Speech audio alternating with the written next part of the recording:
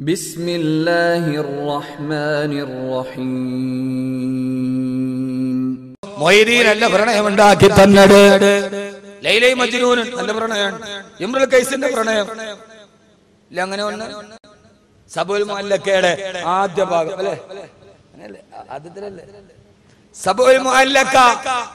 ഏഴ് ഖണ്ഡകാവ്യങ്ങളുടെ ഒന്നാമത്തെ ഖണ്ഡകാവ്യം ഇമ്രു കൈസന്ന ഊച്ചാളി കാമുകന്റെ പാട്ടുകളാണ്.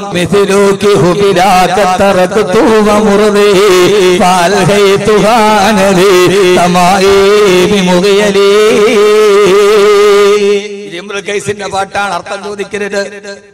പിന്നെ രഹസ്യമായിട്ട് ഷഫീഖ് ഉസ്താദിനോട് വെച്ചാൽ പറഞ്ഞത്. فمثلك هبلاك تركت ومرضه فألهيتها نذي تمائم مغيري ആ പെണ്ണ് അല്ല അല്ല അൽഫിയലല്ലേ ഷെയർ വെച്ചു ഈ മുത്തലിമുകളാണെങ്കിൽ വാത് പറയാൻ വലിയ ഇഷ്ടമാണ് കാരണം പണ്ടത്തെ കാലം ഓർമ്മ വരും ഇതൊക്കെ വലിയ വാതിലൊന്നും ഓതാൻ പറ്റൂല അള്ളാഹു നമ്മുടെ ഉസ്താദന്മാർക്ക് അള്ളാഹു ഖൈറ് നൽകട്ടെ ബഹുമാനരായ ഉസ്താദന്മാരുടെ കബറിടം അള്ളാഹു വിശാലമാക്കി കൊടുക്കുമാറാകട്ടെ. ഈ നന്മയുടെ പാഠങ്ങൾ അള്ളാഹുവേ ആ രീതിയിൽ പ്രണയത്തെ പറഞ്ഞവരുണ്ടായിരുന്നു പക്ഷേ പ്രിയപ്പെട്ട ചെറുപ്പക്കാരാ. പ്രിയപ്പെട്ട ചെറുപ്പക്കാരാ മക്കയിലെ പള്ളിയിൽ ഈശാനുസ്കാരം കിടന്ന് ഇറങ്ങിപ്പോകുന്ന വഴിയിലാണ് കാമുകിയെ കാണുന്നത്. കാമുകിയോട് പറഞ്ഞു പെണ്ണേ എനിക്ക് നിന്നോട് പ്രേമമാണ്. നിന്റെ ശരീരം ഞാൻ കൊതിക്കുന്നുവെന്ന്. തീരപരിതവനായി എന്നും കാണുന്ന കാമുകൻ ഒരു നിമിഷം തന്റെ ശരീരത്തെ ചോദിച്ചപ്പോ തന്നെ കാമുകനാണ് മക്കയുടെ പെണ്ണ് മറുപടി പറഞ്ഞു കൊടുത്തു അത്രേ എന്റെ പ്രിയപ്പെട്ട കാമുക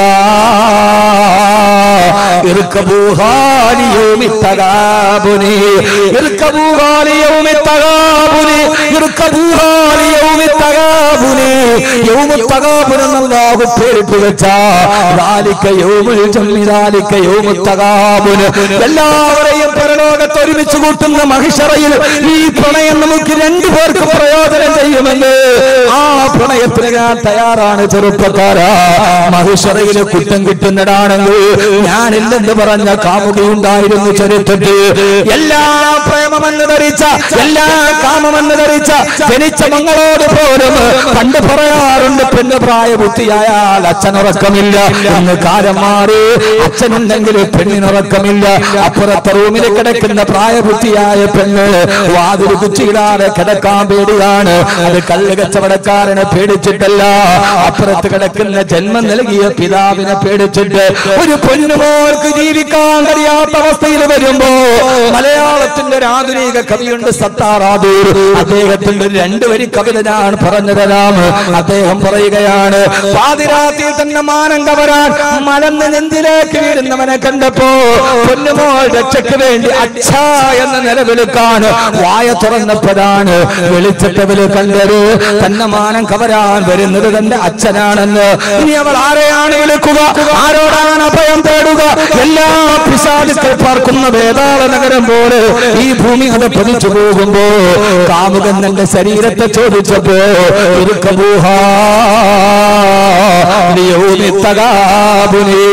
നാളെ പരലോകത്ത് നമുക്ക് ഇതുകൊണ്ട് പ്രയോജനമുണ്ടെങ്കിൽ ഞാനതിന് തയ്യാറാണെന്ന് പറയുന്ന. വരിയരികിൽ കാണുന്ന കാമുകനോട് മഹിസറെ കുറിച്ച് പറഞ്ഞു കൊടുക്കുന്ന. തന്റെ ശരീരത്തിൽ തൊടാൻ വരുന്നവനോട് ഇല്ല ഇല്ല ഇത് പരലോകത്തേക്കാണെങ്കിൽ ഞാനുണ്ടെന്ന് പറയാൻ കഴിയുന്ന. ഒരു ഭാര്യക്കും മക്കൾക്കുമാണ്.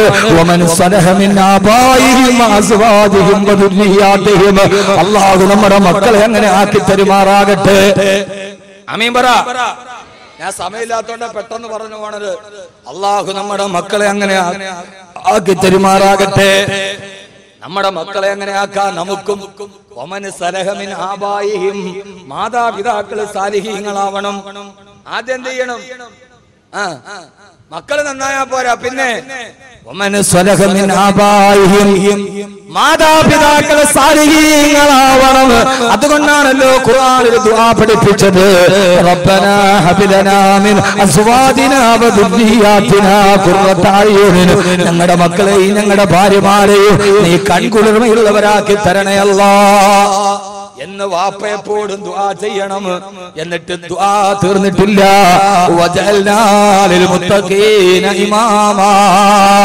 നിന്റെ ഭാര്യയും നിന്റെ മക്കളും നിനക്ക് കൺകുളിർമയുള്ളവരാകണമെങ്കിൽ നീ മുത്തക്കിയായാൽ പോരാ. നീ മുത്തഖീങ്ങളുടെ ഇമാമാവണം.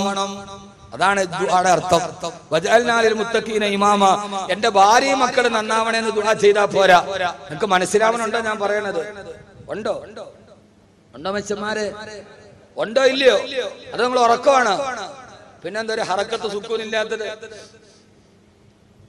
എന്റെ ഭാര്യയും മക്കളും സാരികീയങ്ങളാകണമെന്ന് എപ്പോഴും ആണുങ്ങൾ ദുആ ചെയ്യണം. ചെയ്താ പോരാ. മുത്തഖീന ഇമാമ. ദുആ ചെയ്യുന്ന വാപ്പ മുത്തഖിയായാലും ഇത് നടക്കൂല. പിന്നെയോ? മുത്തഖീങ്ങളുടെ ഇമാമാവണം. മുത്തഖീങ്ങളുടെ മുത്തഖിയായാലും ഭാര്യയും മക്കളും സാരിഹ്യങ്ങളാകാൻ ബുദ്ധിമുട്ടാണ്. മുത്തഖീങ്ങളുടെ ഇമാമാവണം എന്ന് ഖുർആൻ. അള്ളാഹു നമുക്ക് നന്മ നൽകട്ടെ. അള്ളാഹു നമുക്ക് നന്മ നൽകട്ടെ. അള്ളാഹു നമുക്ക് നന്മ നൽകട്ടെ. അതുകൊണ്ട് സഹോദരങ്ങളെ ഞാൻ ചുരുക്കുകയാണ്. നമ്മുടെ മക്കളെ നമ്മൾ ആ രീതിയിൽ വളർത്തണം. വളർത്താൻ തയ്യാറാവണം. നിങ്ങൾ വിചാരിക്കുന്നുണ്ടാവും ഓ എന്റെ മകൻ എഞ്ചിനീയറിംഗിനായി തലപ്പാവ് കെട്ടി മുത്തല്യങ്ങളൊക്കെ പച്ചപ്പൊട്ടന്മാരുടെ മക്കളാന്ന് കരുതുന്ന ഒരു ലോകം ഉണ്ടാവും കാരണം എന്താ? അവരൊക്കെ ദീൻ പഠിക്കാൻ വന്നു നമ്മുടെ മക്കളോ? നമ്മുടെ മക്കളോട് നമുക്ക് പഠിപ്പിച്ചു കൊടുക്കൽ ബാധ്യതയുണ്ട് മഹാനായ അബ്ദുല്ലാഹിബിനെ സൈദറിയാഹുത്തലാണ് പറയാണ് ആറ് വയസ്സ് എനിക്ക് പ്രായമുള്ളപ്പോ എന്റെ വാപ്പ എനിക്ക് കൃത്യമായി ചൊല്ലാനൊരു ഒരു ദിക്കർ പഠിപ്പിച്ചു തന്നു എത്ര വയസ്സുള്ളപ്പോ? ഇങ്ങോട്ടൊക്കെ ഇങ്ങോട്ടൊക്കെ എത്ര വയസ്സുള്ളപ്പോ? ആറ് വയസ്സുള്ളപ്പോ ആര് പഠിപ്പിച്ചു കൊടുത്തു? പള്ളിക്കലെ മൂലിയാരല്ല എന്റെ വാപ്പ? പള്ളിക്കലെ മുക്രിയല്ല.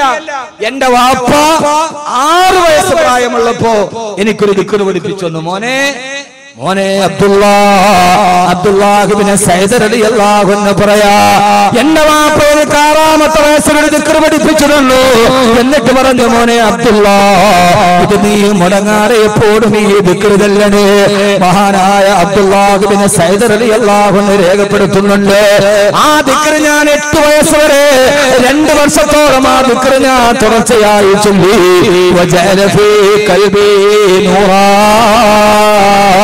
അപ്പൊ എന്റെ ഹൃദയം പ്രകാശിക്കാൻ തുടങ്ങി. പിന്നെയും രണ്ടു വർഷം കൂടി ആ ദിക്കറ് ഞാൻ ചൊല്ലി. അപ്പൊ എന്റെ ആത്മാവിന് പ്രകാശം ഉണ്ടാവാൻ തുടങ്ങി പത്ത് വയസ്സായപ്പോ ആ പെണ്ണുമോന്റെ ഹൃദയവും റൂഹും പ്രകാശിക്കാൻ തുടങ്ങി ഇനി എങ്ങനെയാണ് അവനൊരു ഹിന്ദു പെണ്ണിനെ വിളിച്ചിട്ട് വീട്ടിലേക്ക് വരിക? അങ്ങനെ പ്രകാശിച്ച ഒരു പെണ്ണെങ്ങനെയാണ് വേറൊരുത്തരുടെ കൈ പിടിച്ചിട്ട് ഇറങ്ങി പോവുക?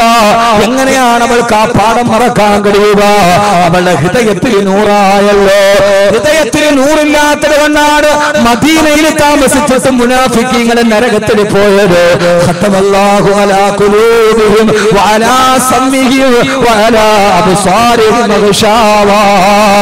അവരുടെ കണ്ണിന്റെ മുകളിലും അവരുടെ ഹൃദയത്തിൽ ഞാൻ സീൽ ചെയ്ത് കളഞ്ഞു.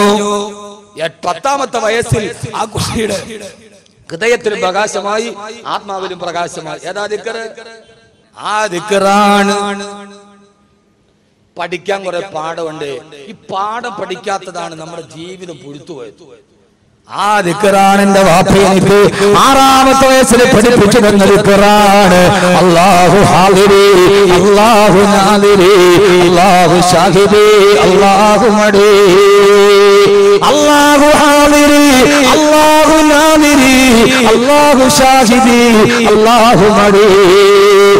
അബ്ദുള്ള അള്ളാഹു ഹാദിരി അല്ല നമ്മുടെ മുമ്പിൽ ഹാദിറാണ് മോനെ. അള്ളാഹു നാദിരി അല്ല നിന്നെ കാണുന്നുണ്ട് മോനെ. അള്ളാഹു ഷാഹിദി നമ്മൾ എന്ത് ചെയ്താലും അള്ളാഹുവിനെ സാക്ഷിയാണ് മോനെ. അള്ളാഹു മടി അല്ല നമ്മുടെ കൂടെയുണ്ട് മോനെ അബ്ദുള്ള അതുകൊണ്ട് അള്ളാഹ് കിട്ടപ്പെടാത്തതൊന്നും ചെയ്യരുതേ കൺമണിയെ. എന്നെന്റെ വാപ്പ ആറാമത്തെ വയസ്സിൽ എനിക്ക് പഠിപ്പിച്ചു തന്ന ലുക്കറാണ് നമ്മളിത് മക്കൾക്ക് പഠിപ്പിച്ചു കൊടുക്കൂല. കാരണം ഇത് അവനവൻ തന്നെ പറഞ്ഞാൽ കാഫുറാകും എന്നുള്ള വാദത്തിലാണ് നമ്മൾ. ഇത് മക്കൾക്ക് പഠിപ്പിച്ചു കൊടുക്കൂല. കാരണം ഇത് പള്ളി പള്ളിക്കലെ മൂലിയാർക്ക് കാശുണ്ടാക്കാനുള്ള ഉപാധിയാണെന്ന് നമ്മൾ പറഞ്ഞു പരത്തിയപ്പോ ഞാൻ പറയാണ് പള്ളിക്കല മൂലിയാർക്ക് കാശ് കാശോത്തിട്ട് നിങ്ങൾ ബേജാറാവണ്ട.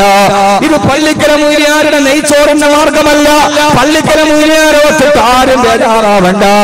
കാരണം കോടിക്കണക്കിന് രൂപ വിറ്റു വരുമാനമുള്ള കോടീശ്വരന്മാര് കടക്കണി വന്നിട്ട് ആത്മഹത്യ ചെയ്തിട്ടുണ്ട്. പക്ഷേ ദുനിയാവിൽ ഏറ്റവും ചെറിയ ശമ്പളത്തിൽ ജോലി ചെയ്ത പള്ളിയിലെ മുഖ്യദേവരെ കടക്കണി വന്നിട്ട് ആത്മഹത്യ ചെയ്ത ചരിത്രം കേരളത്തിൽ കേട്ടിട്ടില്ല. ഉണ്ടോ? ഞങ്ങൾ പറയും കേരളത്തിൽ ഒരു വാർത്ത ഞങ്ങൾ പറയും. വിജയ് മല്യ ഓടി.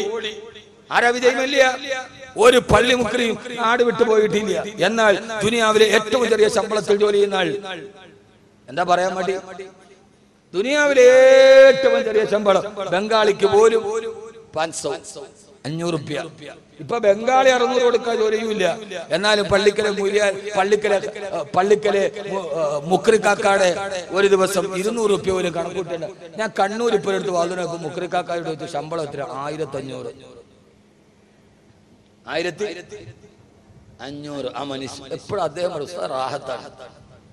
അതുകൊണ്ട് പള്ളിക്കലെ മൂല്യാരെ കൈമടക്കോത്തിട്ട് ആരും ബുദ്ധിമുട്ടണ്ട. അത് അള്ളാഹു ഒരു വഴിയിൽ നടത്തുന്നുണ്ട്. അതിലാരും ബേജാറാവണ്ട. ഇത് അവനാന് വേണ്ടി പഠിപ്പിച്ചു കൊടുത്ത ദിക്കറാണ്. അല്ലെ പള്ളിക്കലെ മൂല്യാർക്ക് ജീവിക്കുണ്ടാക്കി കൊടുത്താൽ